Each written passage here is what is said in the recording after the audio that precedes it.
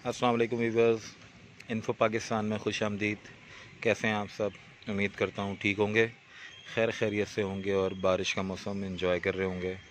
अच्छा व्यूवर्स आज हम आपके लिए लाए हैं आ, एक इन्फॉर्मेशन थी जो आपसे शेयर करनी थी हमें। ऐसा है कि बारिश का मौसम है और अक्सर लोग गाड़ियाँ बारिश में चला देते हैं जिसकी वजह से आ, जो इसकी डिस्क होती हैं ब्रेक्स होती हैं, उनमें काफ़ी तर प्रॉब्लम आना शुरू हो जाती है। तो आज हमारी जो गाड़ी है, इसकी जो डिस्क है, वो पानी में चलाने की वजह से आउट हो गई है। उसका रीज़न ये होता है कि जब हम गाड़ी चला रहे होते हैं तो हम ब्रेक्स पुश कर रहे होते हैं तो उससे होता यह है कि डिस्क गर्म हो जाती है। और जैसे पानी पड़ता है तो ठंडी हो जाती है तो इसका मटेरियल कुछ इस तरह का होता है कि जैसे एकदम पानी पड़ता है तो ये जो है वो थोड़ा सा आउट हो जाती है और आउट होने की वजह से जो है बबलिंग करना शुरू कर देती है। और इस वजह से फिर आपकी ब्रेक की जो ग्रिप है, वो भी थोड़ा कम हो जाती है और आपके पैडल के अंदर जंप आ जाता है तो वो जंपिंग करना शुरू हो जाती है ब्रेक दबाने पे। तो आज हम आपको दिखाएँगे कि डिस्क को थ्रू कैसे किया जाता है।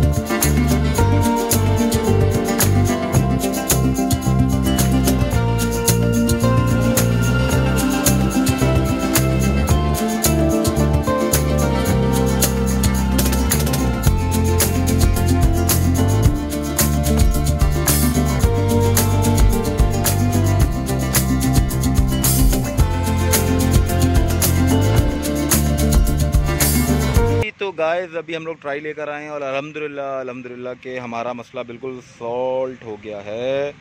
वीडियोस अच्छी लगी तो सब्सक्राइब कर दिएगा लाइक कर दिएगा बेल आइकन को क्लिक कर दिएगा, ताकि हमें आपकी ज़्यादा से ज़्यादा सपोर्ट मिले और हम आपके लिए अच्छी से अच्छी वीडियो ला सकें। तो गाइज़ मिलते हैं हम नेक्स्ट वीडियो में। तब तक के लिए इजाज़त, अल्लाह हाफिज़।